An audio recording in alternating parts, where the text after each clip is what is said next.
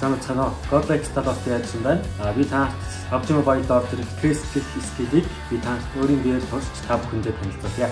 А энэ Trace гэх скилл нь болохоор хүнээ онцоод 1-2 секундээр марка маркаар тэр үнийг ингээд дагаж явдаг скилл байлээ. Тэгээд энэ скиллний давуу тал нь гэвэл смокын дундуур буудахад амар хялбар юм байлээ. Тэгээд тэр нэг өвсөн үнсний араар орчоод ингээд харагдах болчтой шүү дээ. Тийм хүмүүсээс ер нь алхад амар хялбар юм байлээ. Тэгээд миний хувьд бол энэ скил бол нэгэн таалагдсан юм. Энтрис гэх скил нь гоё яваад та нараа PUBG Mobile руу ороод энийг туршаад үзцгээгээрэй.